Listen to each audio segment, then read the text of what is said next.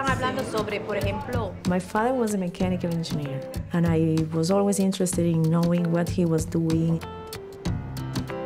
I heard many stories about Canada and how good the life was in Canada.